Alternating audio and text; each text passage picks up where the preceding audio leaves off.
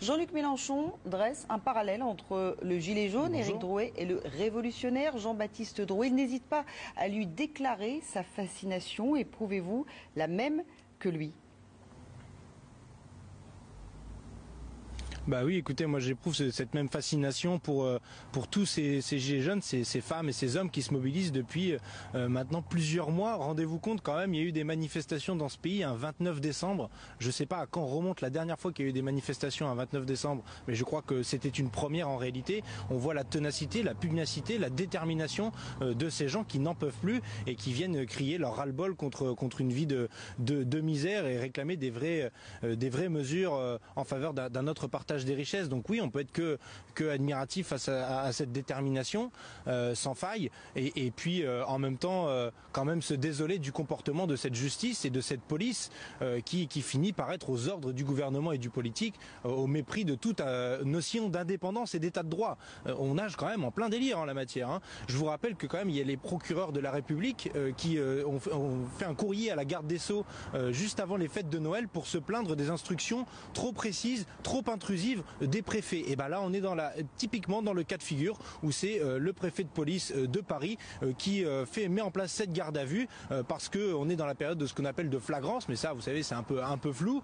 Et puis on met des beaux chefs d'acculpation hein, dans le code pénal, ça ça fait bien en vue de réunion, en vue de commettre des délits, etc. Bon, ça, on a l'impression que ça y est, il est il est là, armé jusqu'aux dents, prêt à en découdre. Or, c'est pas du tout c'est pas du tout le personnage. Et, et donc, quand on voit comment cette justice est instrumentalisée par le biais des préfets, par les procureurs de la République et la police euh, par voie de conséquence, on se dit que c'est bien le gouvernement et le pouvoir politique qui est en train de mettre de l'huile sur le feu sur cette situation. Cela ne vous dérange pas de glorifier un personnage qui est appelé à prendre l'Élysée par la force?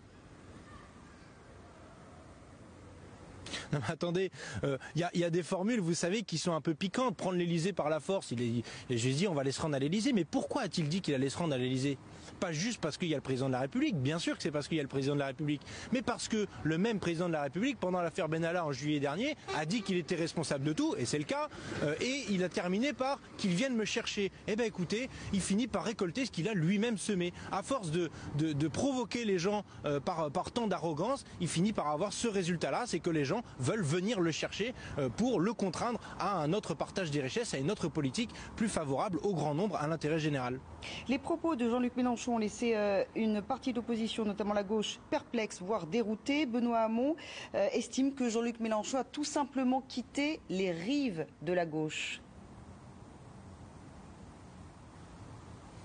Oui, bah écoutez, ça me fait juste euh, rire, voire sourire.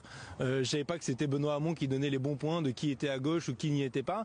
Et euh, à vrai dire, euh, ce n'est pas exactement le sujet. Et pourquoi dit-il ça, Benoît Hamon?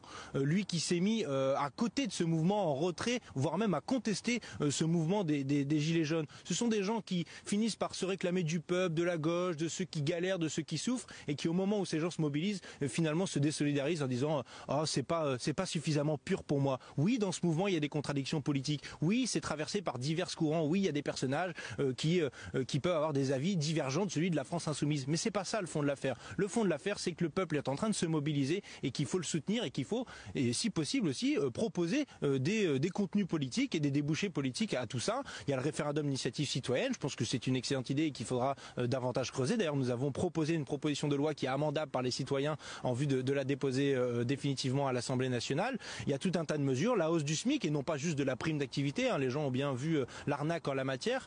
Et il y en a plein d'autres des mesures comme ça. Et puis surtout, n'oublions pas qu'on sort de la COP 24 qui a été un échec euh, flagrant. Qu'est-ce qu'on fait pour la planète? Qu'est-ce qu'on fait? Quand je vois qu'il y a cette pétition, encore une fois, des citoyens qui se mobilisent euh, pour porter en accusation devant les tribunaux l'État pour inaction qui dépasse les 1 600 000 signataires Et eh ben je me dis qu'enfin le peuple est rentré en action et c'est tant mieux. Et effectivement, les puissants ont du souci à se faire.